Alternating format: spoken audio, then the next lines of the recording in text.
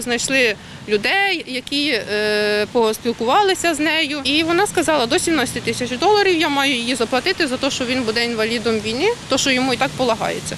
Хоча е, йому має бути друга група. В нього 40% втрата е, працездатності. Дружина військового Ірина Кошка розповідає, з січня 23-го її чоловік, що служив майже 10 років у спецпідрозділі ЗСУ, не може отримати інвалідність. До обласної МСЕК, каже, звертались не раз. Зрештою, там повідомили, що документи відправили на центральну комісію в Київ. Я ходила до МСЕКа, мені пояснювали, що вони не можуть ніяк вплинути на рішення, і коли там будуть розглядати дуже великі черги. Адвокат дав е, запит, чому не розглядалася наша справа вже четвертий місяць пішов.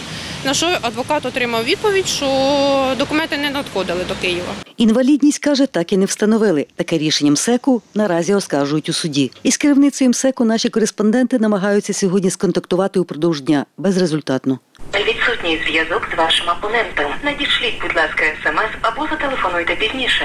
Нагадаю, працівники ДБР заявили про викриття керівниці Хмельницького обласного центру медико-соціальної експертизи та її сина на незаконному збагаченні. Під час обшуків у її робочому кабінеті знайшли 100 тисяч доларів. Коридори медико-санітарної експертизи нині порожні. У нас прийому немає. У нас не прийомний У нас робота з документами.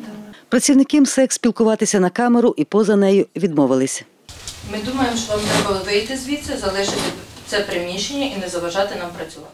Майже 6 мільйонів доларів США, інформує ДБР, виявили вдома. У цій багатоповерхівці у середмісті Хмельницького, за словами сусідів, мешкає подружжя, в якого 3 жовтня проводились обшуки. Подвір'я загороджене, всюди камери спостереження. Мешканці під'їзду, в одній із квартир якого проводився обшук, на камеру з нами спілкуватися не захотіли. Втім, не захотіли говорити з нами на камеру і жителі сусіднього під'їзду. Вони кажуть, із родиною цієї не спілкувалися, мало їх знали. За словами спікерки Державного бюро розслідувань Ольги Чканової, під час обшуку господиня викинула з вікна квартири дві сумки грошей, в яких було півмільйона доларів. Продавчиня магазину, розташованого саме в цьому будинку, не на камеру нам розповіла.